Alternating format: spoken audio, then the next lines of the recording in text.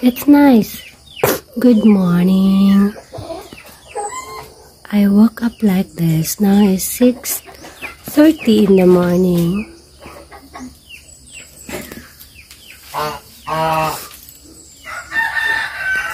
So after the typhoon, today is one month. January 16. So this is mas our for today is this is our view. Kung kung tanda nyo pa, there is a lot of trees surrounded here, but now this is really happening. But this is a beautiful morning because I saw the rainbow. Kanina is nag-double siya, at ngayon is single.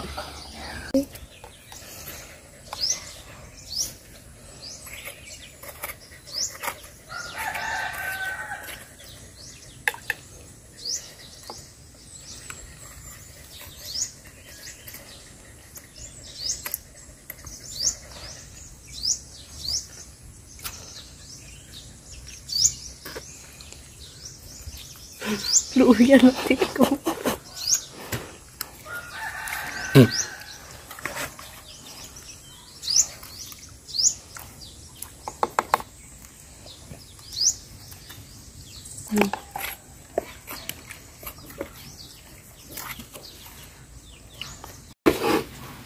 Ito ko yung kapalo.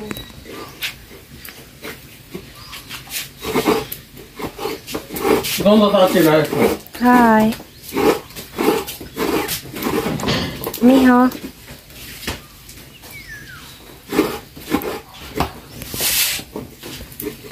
What kind of style nga kinagura na ma?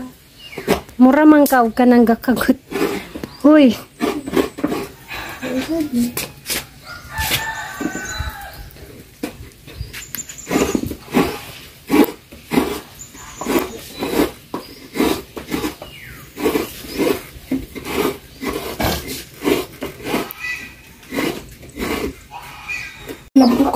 Saan ang kapalo?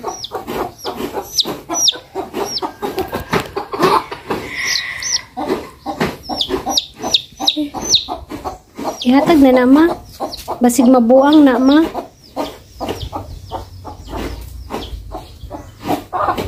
Si chocolate. Ninggawas man na ganyan si chocolate. Well, yung gawas? Hmm. Mom, mo yung glitter. Siya si chocolate. First egg na niya mano. Nga naglay siya egg mano. Oh. They're heavy kayo siya masiktan siya itlog. Murag. Ayaw, hilabti na. Oy, hilabtunon man ka. Ay, naman ka naglumlum na.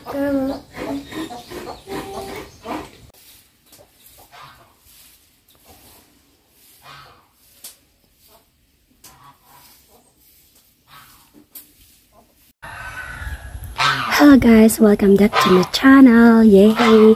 Welcome back to my channel. For today is ang ganda ng sunset. But today is ipapakita ko sa inyo how did I teach my children to become um like um how to cook by using the woods. Yes, by using the cut woods. But before that, we have to close the gate first kasi kagabi is may narinig ako.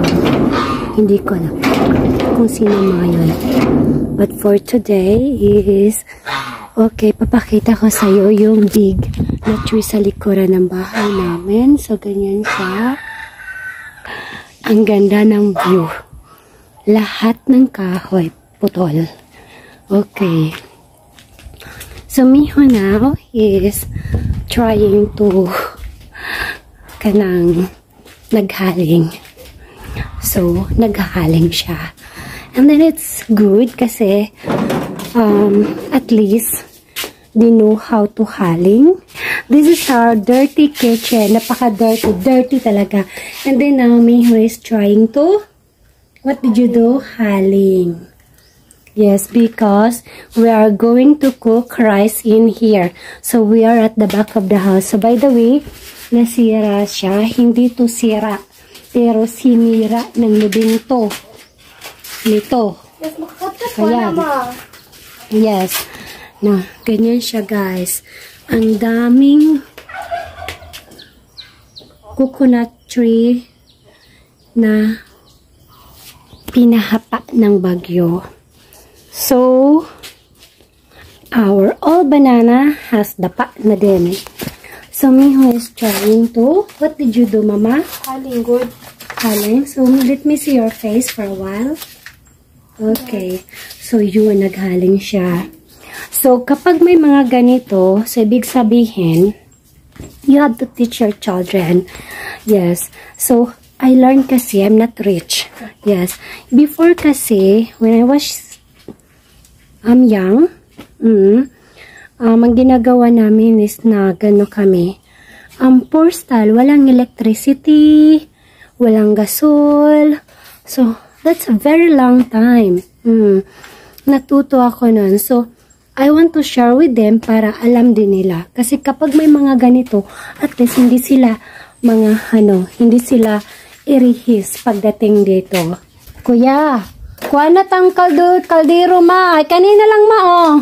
Botangi o rice. Three cups. Kani, okay? Okay, marunong silang Kuy, Stop daw, mami. ma, gibon bata. Please kumabay. Yun lagi na ko. Mami. Sorry na god anak. Ma, Tree. giguba ni kuya, mami. Hmm. Ma, giguba ni kuya. Wa mo nagibuba. Wala ka na na. Wala ka na kago na. Ikaw magkaguba. Sige na. We're peaceful. Not good. Okay.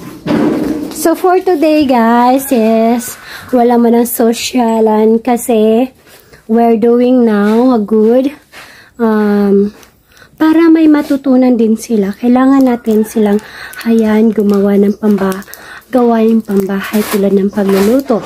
But for before kasi hindi kami nagluluto dito at nagluluto kami sa gasol lang. Pero since the gasol kasi is after the typhoon, hindi ako bumili. Yes, hindi ako bumili kasi nga ayokong bumili kasi ang taas ng pila. Yung gasolinahan nga, hindi ako bumili at least. But before the typhoon, nagpa-fully charge ako sa car namin. Kaya, I have no problem with the gasoline of my my car. And then now, is the best things is nangangahoy kami. Yes, nangangahoy kami. That is true. Nangangahoy kami. Hindi ganun kami kayaman. Si daddy, sabi niya, mas masarap yung lutong kanin kapag sa firewood yung galing na yung ano, yung pagkakaluto ng bigas. Mm, ayun si Miho. By the way, this dirty kitchen is hindi talaga ito ginagamit namin. Kilis ikaw, kilisi.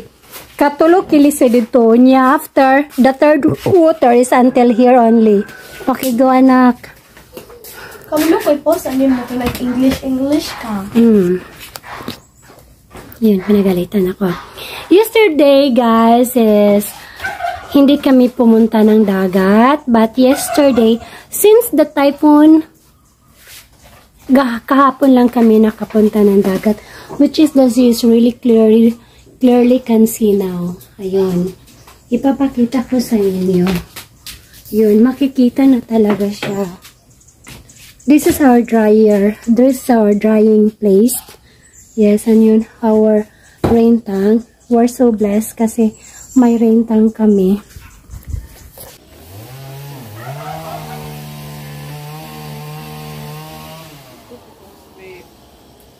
Hmm.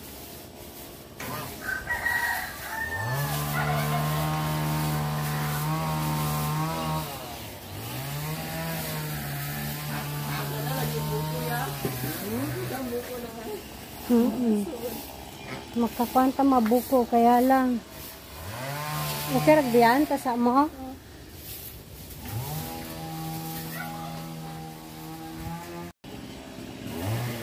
Hello guys, good morning. So, ipapakita ko lang yung after the typhoon that hit in our place. So, this is what happened. So, kaning punong to is malaki talaga siya pero Look at. And then, that's Baganga at the back. Kasi grabe. Then yung mga lubi. Yung house.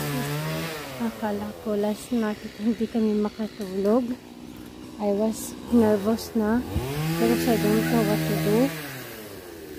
Si daddy, pinutol yung puno kasi hindi kami maka ano,